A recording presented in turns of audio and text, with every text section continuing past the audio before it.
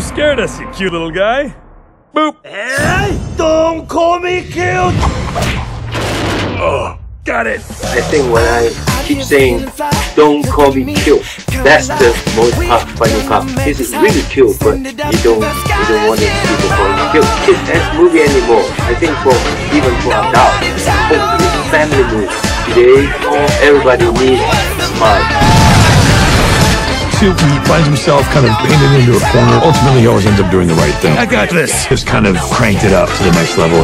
There's a great message in here about conservation, and it's about time that animals start, you know, worrying about conservation themselves. They're going to destroy the park. The movie has a really beautiful message about doing the right thing, and that the right thing isn't always the easiest thing. The film is great because it's kind of a fun family outing for everyone. What I'm most excited for is just seeing it all come together and also seeing the cast together in one place. Like Katherine Heigl, Bobby Moynihan, Jackie Chan. It's gonna be great.